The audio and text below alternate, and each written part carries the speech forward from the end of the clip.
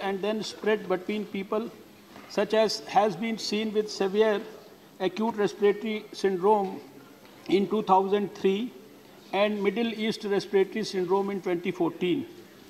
Since reporting of an outbreak of novel coronavirus on 31st December 2019 in China, a large number of cases have been reported across all provinces of China and other parts of the world, including India. WHO has named the novel coronavirus disease as COVID 19. As on 4th March, a total of 80,270 confirmed cases and 2,981 deaths have been reported in China. Though the daily confirmed cases and deaths have shown a downward trend in China, still new cases are being reported from Hubei Prince province and Wuhan city, the epicenter of the outbreak. A total of 12,857 confirmed cases and 220 deaths have been reported outside China from 78 countries, including Hong Kong, Macau, and Taiwan. Among these, 30 countries have also reported local transmission. World Health Organization has declared this outbreak as a public health emergency of international concern on 30th January 2020 and raised the level of global risk to very high on 28th February 2020. Though WHO has not declared COVID-19 to be pandemic, it has asked the countries to remain prepared.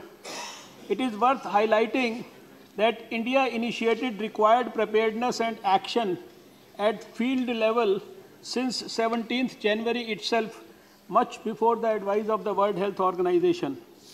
Once a person is exposed to the infection, the disease may develop any time between 1 to 14 days. The main symptoms of novel coronavirus disease are fever, cough, and difficulty in breathing.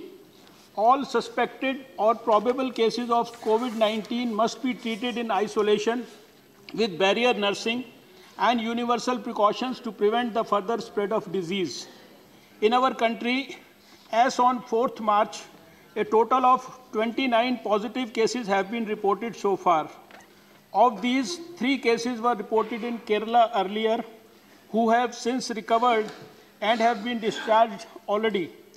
Since last three days, new travel-related cases have tested positive.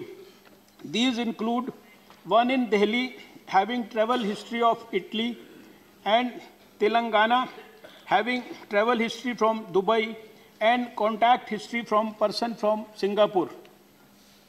Both are clinically stable. Six more cases have tested positive in Agra, Uttar Pradesh, having contact history with the case in Delhi. Required action as per cluster management plan has been initiated.